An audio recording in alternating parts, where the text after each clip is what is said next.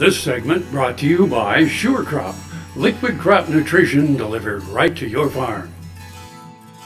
Hey there, folks. Dr. Dan here from Ag AM in Kansas and Doc Talk. And, you know, I just, uh, the wildfires that occurred in southwest Kansas, the Oklahoma Panhandle, and West Texas, they affected a lot of people in a lot of different ways. But the one thing that, that was the positive of this is to just see how selfless most people in our industry and in agriculture really are, and, and people beyond agriculture. So many people wanting to give, people in churches, people in communities that want to provide help, they want to provide money, they want to provide hay, they want to provide fencing supplies. All of this has been overwhelming. And I was uh, traveled down to help support some of our friends and, and family in that Ashland area. And, and when you get there, you know, the, the first thing that you see is this the utter devastation and the vastness of the devastation. When they talk about 400, 700, a, a thousand or a million acres that were lost to this, this wildfire and that it was traveling at 80 to 100 miles an hour uh, and covering such a vast amount of land, it's hard for one to wrap their head around seeing fences burnt to the ground, seeing electrical poles burnt, all the street signs, highway signs, things to that nature. But then you start to think about how good our emergency response was. My hat's off to the people of that surrounding area that that in Kansas, you know, uh, none of the people in Ashland or in Clark County lost their lives. We had some people in West Texas that lost their lives. We had some people that were in the transportation industry, and, and our hearts go out to their families for their losses. And then when you go out on the calls and you work with the, the producers, the big things that we're dealing with as far as in this wildfire obviously documenting the cattle losses from the fire, but then there are the cattle that survived that need to be euthanized. And, and really when we're uh, assessing those cattle, we're assessing their hooves because when it's just a lot of things that happen in a fire are things that can happen in the winter for frostbite.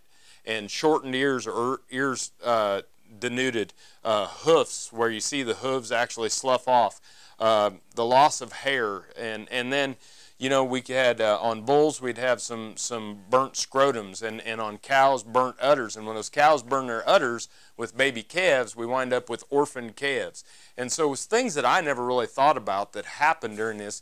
And and luckily, when we start to talk about orphaned calves and and gathering up the orphaned calves, some of the local 4-H and FFA chapters uh, in those counties were taking in orphaned calves and bottle feeding them. We had calf ranches in the area, dairies that were taking in these orphan calves and, and providing a home and providing milk replacer for them. Um, and then assessing the cows and the calves and the bulls. What has died? What needs to be humanely euthanized? And then what are the ones that we can apply treatments to? And, and what are the secondary effects of the fire that we need to be watching for? So that was really a lot of what we were doing in the first 48, 72, 96 hours. Once we had the animal and people triage, uh, done. Then we started focusing on, okay, all of our grass supply is, is burnt. So now we need hay. And people sent hay from everywhere. And one of the things that, that you don't think about is a lot of times we go out and say, well, we'll send that hay that we didn't use last year. And if you send hay that you wouldn't feed to your cows, a lot of these people wouldn't feed to theirs and the cows won't eat it. So it winds up just being transported for, for nothing. So getting medium to high quality hay into that region was, was needed and it might still continue to be needed if we don't get proper rainfall and proper regrowth or we're going to see herds being dispersed out of that area into confinement operations or into other pastures in other parts of the country. So if you have pen space or pasture space or things to that nature, please contact the Kansas Livestock Association so they might be able to match you with a uh, producer. The other thing that we lost a lot of were homes and fences and sheds and chutes and facilities. And we don't think about that, but we can't doctor or pro provide treatments if we lost our facilities. And so rebuilding the facilities, portable corrals, different things to that nature. And I know that everybody wants to load up fencing materials and, and send that into that region.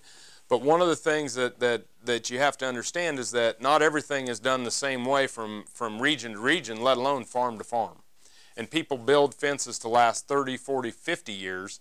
And, and so when we start to, when I talked to Kendall Kay of the Stock Grower State Bank, one of the things that was obvious is sending money might be better than sending supplies. While we like to send supplies, Um, if we could do some, some larger bargaining where we buy the supplies that are used in that region and that it's easier to divide money among producers that need it so they can go buy the supplies that they want than it is to divide up the supplies that have been brought in.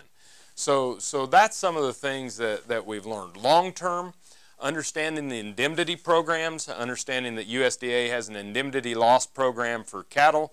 We also have some loss programs for fences. We have hundreds of thousands of miles of fences that need to be replaced because the posts were burnt off. We have uh, already got a lot of the electricity. The, the linemen and the power companies, unbelievable. Even within 24 hours, we're restoring electricity to different areas and, and getting uh, highway marker signs out so that we can understand where we're at and where we're going.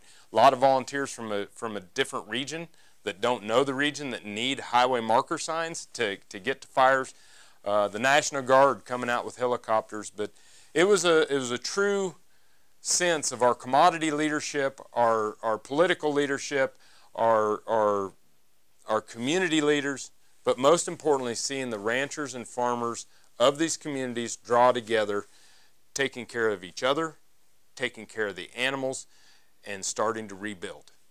You can help us. There's two or three different relief foundations that you can go to where you can go to the Ashland Community Foundation or you can go to the Kansas Livestock Association Foundation and make monetary gifts. Another way, you can buy this beautiful print that was painted by Dr. Eva Gardner of the Gardner Angus Ranch of Ashland and Clark County area before the fire. This painting will be sold through the Kansas Livestock Association Foundation and all proceeds will be provided to victims of the wildfire.